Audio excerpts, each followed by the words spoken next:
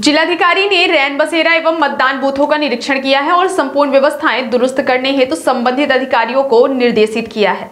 जिलाधिकारी की अध्यक्षता में जिला स्तरीय संपूर्ण समाधान दिवस रसूलाबाद तहसील में कार्यवाही संपन्न हुई।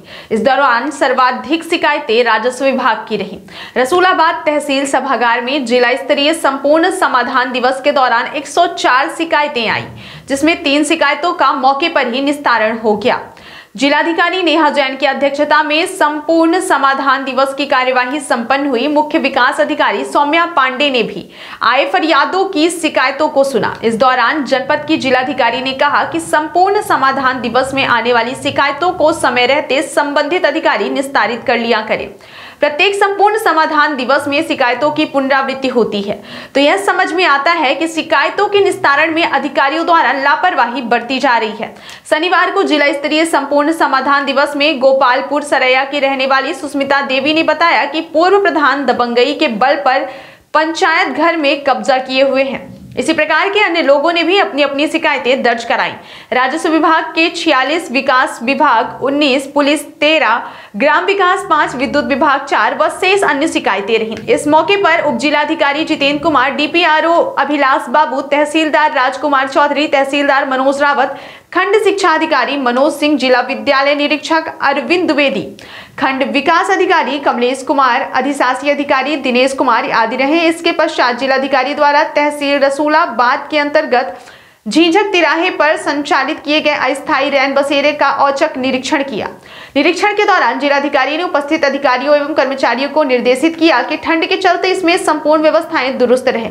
इसमें किसी प्रकार की लापरवाही न होने पाए। इसके पश्चात जिलाधिकारी ने तहसील रसूलाबाद के अंतर्गत नगर निकाय निर्वाचन हेतु आरपीएस इंटर कॉलेज रसूलाबाद में बनाए गए चार बूथों का औचक निरीक्षण किया।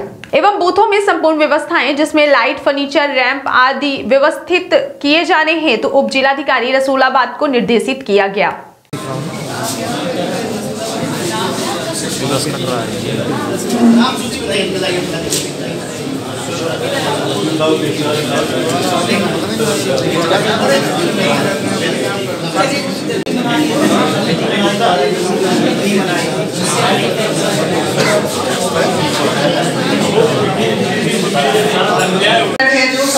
विभाग से जल है, कोई ज़मीन का इशू है, या कोई भी इशूज है तो उनको अभी टैकल कर देते जो अधिकारी जिला स्तरीय आ नहीं पाते हैं यहाँ पे।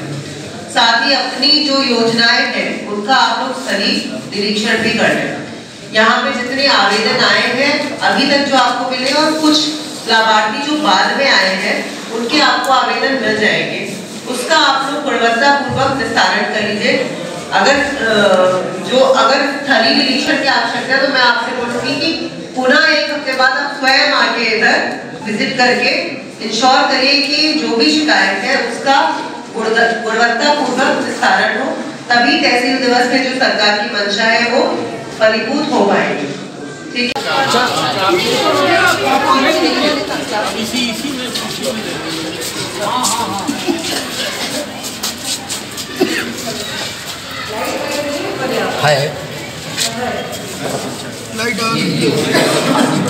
चलो लगवा दीजिएगा।